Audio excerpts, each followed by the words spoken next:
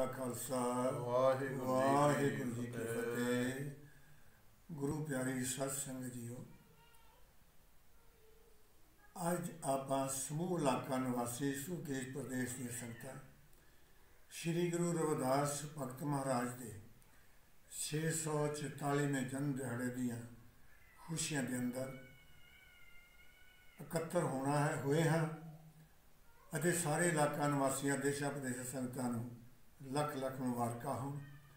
ਕਿਉਂ ਭਗਤ ਰਵਿਦਾਸ ਜੀ ਦੇ ਕਈ ਸ਼ਬਦ ਐਸੇ ਨੇ, ਜਿਹੜੇ ਸਾਡੀ ਜ਼ਿੰਦਗੀ ਦੇ ਅੰਦਰ ਸਾਨੂੰ ਸੇਧ ਦਿੰਦੇ ਨੇ।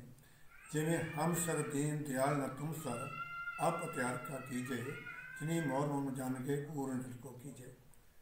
ਤੁਮ ਚੰਦਨ ਹਮ ਰਿੰਡ ਬਾਪਰੇ ਸੰਗ ਤੁਮਾਰੇ ਵਾਸਾ, ਨੀਚ ਰੂਪ ਤੇ ਊਚ ਪਏ ਹੈ, ਗੰਸ ਗਦਨ ਵਾਸਾ ਐਸੀ ਲਾਲ ਤੁਝਨ ਕੌਣ ਕਰੇ, ਇਹ ਨਵਾਜ਼ ਕੇ ਸਈਆਂ ਮੇਰੇ ਛਾਤੇ ਉਥੇ ਸ਼ਬਦ ਚੜੇ ਇਹ ਸਾਰੇ ਹੀ ਭਗਤ ਰਵਿਦਾਸ ਜੀ ਦੇ ਸ਼ਬਦ ਨੇ। ਇਹਨਾਂ ਸ਼ਬਦਾਂ ਦੇ ਵਿੱਚ ਸਾਨੂੰ ਇੱਕ ਸੇਧ ਦਿੱਤੀ ਗਈ ਹੈ ਕਿ ਸੰਸਾਰ ਦੇ ਵਿੱਚ ਅਸੀਂ ਕਿਸ ਤਰ੍ਹਾਂ ਵਿਚਰ ਕਰਨਾ ਹੈ। ਜੇ ਸ਼ਬਦਾਂ ਦੇ ਮੁਤਾਬਕ ਚੱਲੀਏ, ਤੇ ਚੰਦਨ ਤੇ ਰਿਣ ਦਾ ਬੜਾ ਫ਼ਰਕ ਹੁੰਦਾ ਹੈ।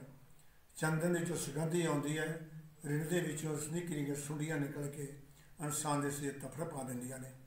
ਤੇ ਜਦੋਂ ਚੰਦਨ ਦੇ ਕੋਲ ਰਿਣ ਦਾ ਦਰਖਤ ਹੋ ਜਾਂਦਾ ਹੈ ਜਿਵੇਂ ਚੰਦਰ ਚੋਂ ਵਾਸ਼ਨਾ ਆਉਂਦੀ ਹੈ, ਇਸੇ ਤਰ੍ਹਾਂ ਹੀ ਉਹ ਰਿਣ ਦੇ ਦਰਖਤ ਵਿੱਚੋਂ ਵਾਸ਼ਨਾ ਆਉਣ ਲੱਗ ਪੈਂਦੀ ਹੈ। ਇਸ ਲਈ ਜੇ ਕੋਈ ਸਾਡਾ ਪ੍ਰਾਣੀ, ਸਾਡਾ ਵੀਰ ਕੁਰਾਹੇ ਪੈ ਜਾਂਦਾ ਹੈ, ਉਹ ਸਤ ਸੰਗ ਵਿੱਚ ਰਹਿ ਜਾਵੇ ਤੇ ਉਹਨੂੰ ਸੰਗਤ ਦੇ ਰੰਗ ਚੜ ਕੇ ਉਹ ਵੀ ਸਿੱਧੇ ਰਸਤੇ ਪੈ ਕੇ ਉਸ ਵਾਹਿਗੁਰੂ ਕਾਰਪੂਰੇ ਚਲਣਾ ਜੁੜ ਜਾਂਦਾ। ਹਮ ਸਰ ਦੀਨ ਦਿਆਲਾ ਤੁਮ ਸਰ।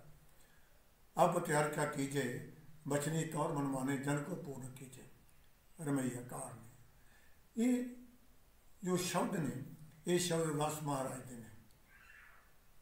ਜਦੋਂ ਅਸੀਂ ਇਹਨਾਂ ਸ਼ਬਦਾਂ ਵਿੱਚ ਜੁੜਦੇ ਹਾਂ ਤੇ ਗੁਰੂ ਮਹਾਰਾਜ ਸਾਡੇ ਬੜੀ ਕਿਰਪਾ ਕਰਦਾ, ਐਸੀ ਲਾਲ ਤੁਝ ਕੌਣ ਕਰੇ ਗ੍ਰੀ ਨੂੰ ਸਾਡੇ ਜਾਂ ਮੈਂ ਮਾਥੇ ਛਤ ਚਲੇ ਜਦੋਂ ਐਸੀ ਕਿਰਪਾ ਵਾਹਿਗੁਰੂ ਕਰਦਾ ਹੈ, ਜਿਵੇਂ ਭਗਤ ਕੌਰ, ਭਗਤ ਰਵਿਦਾਸ ਜੀ ਮਹਾਰਾਜ ਦੇ ਸਰੀਰ ਦੇ ਉੱਤੇ ਉਸ ਦਾ ਕਾਲਪ ਨੇ ਐਸਾ ਸ਼ਤਰ ਚਲਾਇਆ ਕਿ ਕਹਿੰਦੇ ਨੇ ਕਿ ਉਹ ਇੱਕ ਛੱਪੜੀ ਵਿੱਚ, ਇੱਕ ਚੁਗੀ ਵਿੱਚ ਬੈਠ ਕੇ ਰਸਤੇ ਜੋੜੇ ਇਕੱਠਿਆ ਕਰਦਾ ਸੀ। ਪਰ ਗੁਰੂ ਮਾਤਾ ਦੀ ਐਸੀ ਕਿਰਪਾ ਹੋਈ, ਅੱਜ ਸੰਸਾਰ ਦੇ ਅੰਦਰ, ਕੁੱਲ ਦੁਨੀਆ ਦੇ ਅੰਦਰ ਉਹਨਾਂ ਦੀ ਪੂਜਾ ਹੁੰਦੀ ਹੈ ਕਿਉਂਕਿ ਉਹਨਾਂ ਨੇ ਅਕਾਲ ਪੁਰਖ ਨੂੰ ਪਾ ਲਿਆ। ਉਹ ਵਾਹਿਗੁਰੂ ਦੇ ਲੜ ਲੱਗੇ। ਲੜ ਲੱਗ ਕੇ ਸਾਨੂੰ ਵੀ ਉਹਨਾਂ ਨੇ ਉਸ ਅਕਾਲ ਪੁਰਖ ਦੇ ਲੜ ਲੱਗਣ ਵਾਸਤੇ ਪ੍ਰੇਰਣਾ ਕੀਤੀ। ਅੱਜ ਉਹਨਾਂ ਨੇ ਸਾਨੂੰ ਰਸਤੇ ਦੱਸੇ ਨੇ। ਜੇ ਆਪਾਂ ਸਾਰੀਆਂ ਹੀ ਸੰਗਤਾਂ ਰਲ ਮਿਲ ਕੇ ਇਲਾਕਾ ਨਿਵਾਸੀ ਦੇਸ਼ਾਂ ਆਪਣੇ ਸੰਗਤਾਂ ਦੀ ਉਹਨਾਂ ਦੇ ਸ਼ਬਦਾਂ ਦੇ ਉੱਤੇ ਚੱਲੀਏ ਤਾਂ ਗੁਰੂ ਪਿਆਰਿਓ, ਸਾਡੇ ਅੰਦਰੋਂ ਬਹੁਤ ਕਿਸਮ ਦੀਆਂ ਕਰਤਨਾ ਤੇ ਸਾਡੀਆਂ ਕਈ ਕਿਸਮ ਦੀਆਂ ਬਿਮਾਰੀਆਂ ਵੀ ਹਟ ਸਕਦੀਆਂ ਨੇ। ਸੋ ਇੰਨੀਆਂ ਬੇਨ ਗੁਰਦੁਆਰਾ ਸਿੰਘਾ ਸ਼ਹੀਦਾ ਡੇਰਾ ਬਾਬਾ ਜਨੈਲ ਸਿੰਘ ਨੰਗਲ ਬੇਟ ਨਜ਼ਦੀਕ ਆਲੋਵਾਲ ਦੇ ਵਿੱਚੋਂ ਇਹ ਬੇਨਤੀਆਂ ਜੋ ਕੀਤੀਆਂ ਗਈਆਂ ਨੇ ਸਮੂਹ ਇਲਾਕਾ ਨਿਵਾਸੀਆਂ ਸੁਦੇਸ਼ਾਂ ਦੇ ਸੰਗਤਾਂ ਨੂੰ ਇਹ ਬੇਨਤੀਆਂ ਪ੍ਰਵਾਨ ਕਰਨੀਆਂ। ਭੁੱਲਾਂ ਚੁੱਕਾਂ ਦੀ ਖਿਮਾ ਸਮੂਹ ਸੰਗਤਾਂ ਨੂੰ ਰਵਿਦਾਸ ਭਗਤ ਦੇ ਜਨਮ ਦਿਹਾੜੇ ਦੀਆਂ ਲੱਖ ਲੱਖ ਲੱਖ ਮੁਬਾਰਕਾਂ ਸੋ ਵਾਹਿਗੁਰੂ ਜੀ ਕਾ ਖਾਲਸਾ ਵਾਹਿਗੁਰੂ ਜੀ